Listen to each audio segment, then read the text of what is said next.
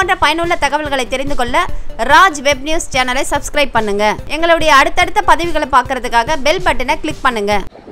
நூற்றி நாற்பத்தி நான்கு தடை உத்தரவால் மளிகை கடைகள் ஒரு சில கடைகள் மட்டுமே திறந்திருக்கின்றன. சுமார் இருபது சதவீதம் கடைகள் மட்டும் திறந்திருக்கும் நிலையில் எந்த பொருள் நாம் வாங்க போனாலும் பத்து பொருளில் சில பொருட்கள் மட்டும்தான் கிடைக்கிறது. இப்படி தட்டுப்பாட்டுக்கு காரணம் எல்லா பொருட்களும் கொஞ்சம் கொஞ்சமாக தீர்ந்து கொண்டிருப்பதே காரணம் என்கிறார்கள் வணிகர்கள்.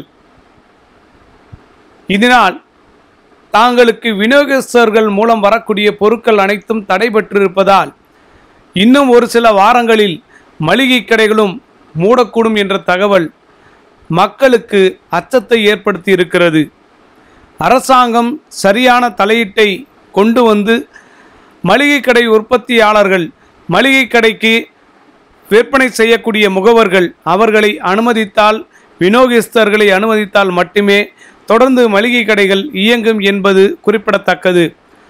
இப்பொழுது சமீபத்தில் மக்கள் பொருட்களை வாங்க செல்லும் பொழுது பத்து பொருட்களில் ஒன்று இரண்டு மூன்று என்ற பொருட்கள் வீதம்தான் கிடைக்கிறது. கொஞ்சம் கொஞ்சமாக மளிகை கடையில் ஸ்டாக்குகள் தீர்ந்து கொண்டே வருவதால் பொதுமக்களும் வியாபாரிகளும் அச்சத்தில் உள்ளனர்.